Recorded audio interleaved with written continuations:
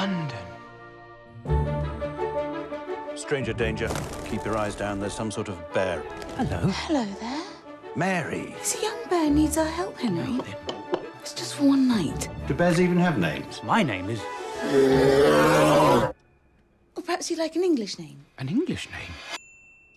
Paddington. Paddington. Paddington. Paddington?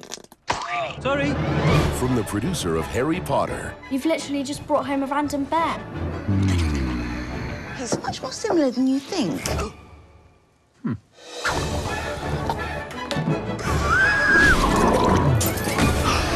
Besides, what's the worst that could happen? Oh no.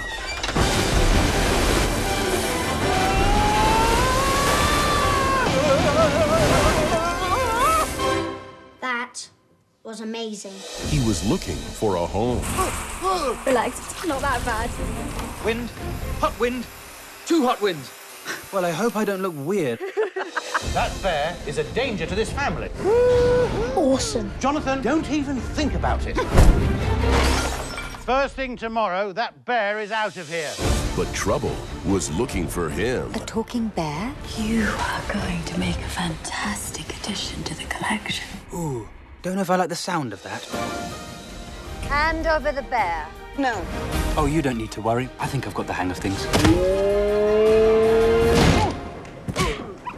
The greatest adventure This family needs that bear every bit as much as he needs you. is finding where you belong. It doesn't matter that he's a different species or that he has a worrying marmalade habit. Did you say marmalade? Families stick together.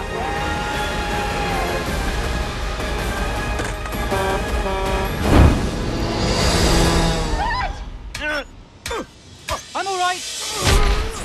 Paddington.